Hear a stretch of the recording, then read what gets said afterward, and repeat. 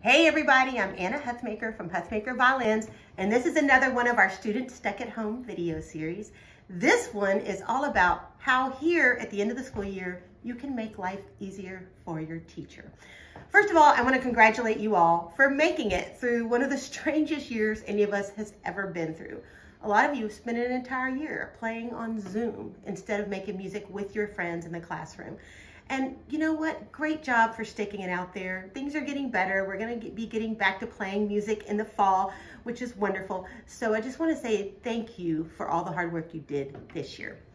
So that hard work though is only a fraction of what your teachers have been doing.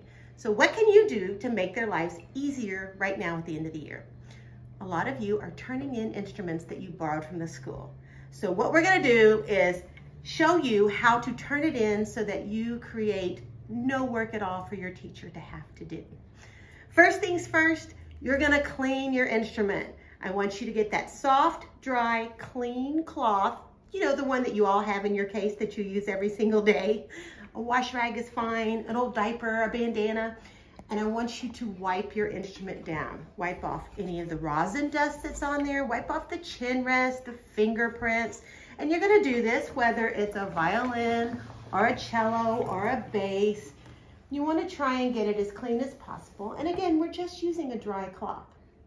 Now, if you are lucky enough to have some violin polish, you can use it on the instrument only, not on the strings, not on the bow. You can only use violin polish though. Do not use furniture polish. If you don't have any of this, don't worry about it. That's the least of your concerns right now as long as you're getting it, giving it back clean, you're in good shape. And speaking of clean, let's look at your bow. So I know that you're already loosening it every day like you're supposed to, but I do, I want you to make sure that it's nice and loose.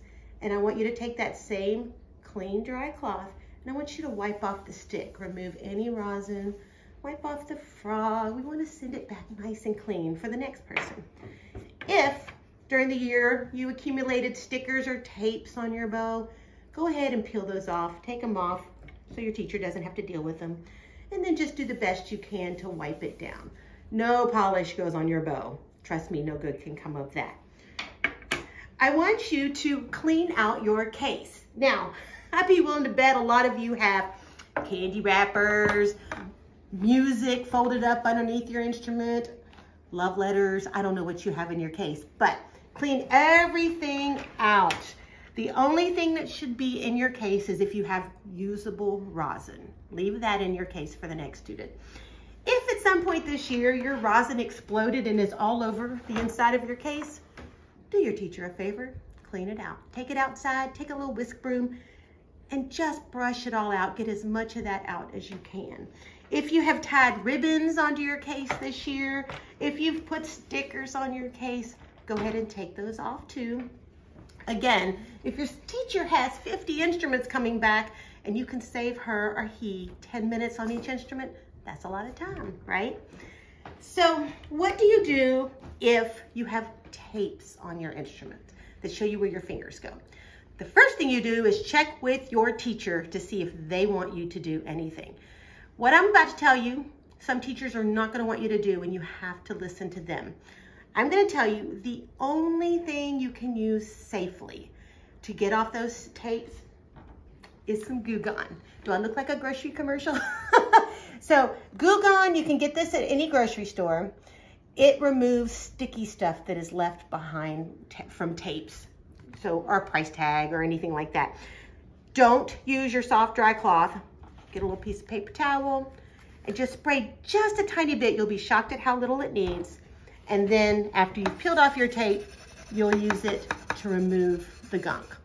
Do not get this anywhere near your bridge. Do not get this anywhere near your bow. It is oil-based. It will make a mess and cost a fortune to fix. So we're trying to do away with that. Okay, so now your instrument's clean, your case is clean, your bow is clean. Um, is it ready to go back? I wanna tell you a story about a student that came in our shop this last week little seventh grader, she had a broken string on her cello.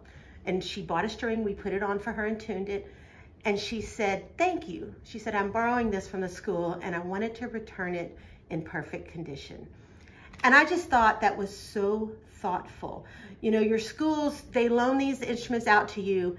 If something's happened to it while it's in your care, consider getting it fixed before you take it back. If the bridge got broken, don't take it back and let your teacher deal with it or make your teacher deal with it. They don't have a lot of funds. You saved a lot of money by using a school instrument, so it's the least you can do. Now, once you've done all of that, the last thing I want you to do, go to your parents and beg them to go to your local music store and rent an instrument for the next two months so that this summer you can play and play some fun stuff. Did you know you can go online, you can buy books of Disney music, hip hop music, fiddle music, Broadway hymns, any kind of music you like. Hamilton, it doesn't matter, Moana. There's books for your instrument that you can buy really cheap. Go to Amazon, go to sheetmusicplus.com and have some fun. Don't just stick your instrument down for two months. Make some music. Last but not least, don't forget to thank your teacher for how hard they've worked this year. They've been doing amazing things to make sure you have music education this year. I'm Anna Huthmaker from Huthmaker Violins, and thank you for watching my video.